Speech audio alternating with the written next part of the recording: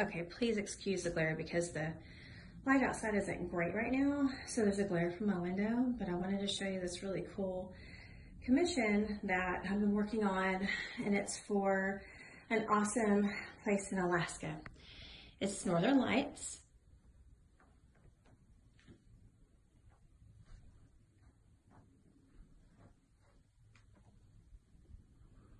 Do you see that color change? Is that not the coolest?